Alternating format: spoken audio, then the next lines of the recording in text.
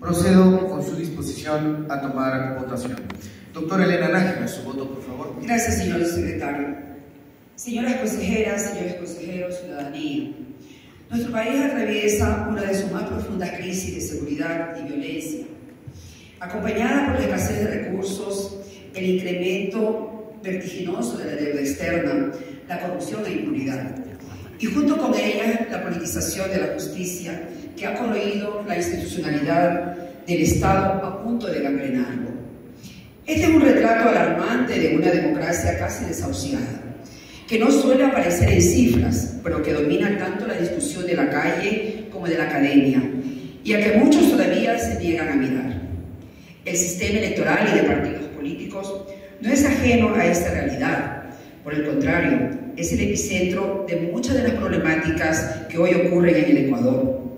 Sin embargo, hago hincapié que este proceso electoral sea libre, competitivo y transparente.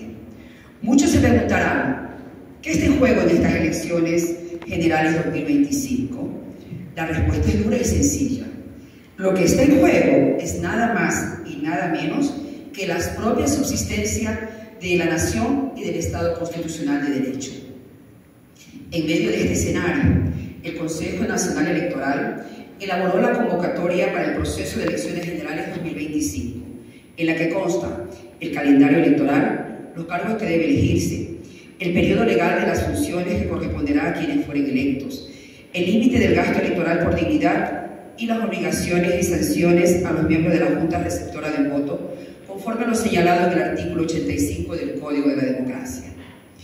Es así que el próximo 9 de febrero de 2025, los 13.736.314 electores acudirán a las urnas, dentro y fuera del país, para elegir un binomio presidencial, 145 asambleístas, 130 asambleístas provinciales, 15 asambleístas nacionales, más 6 asambleístas del exterior.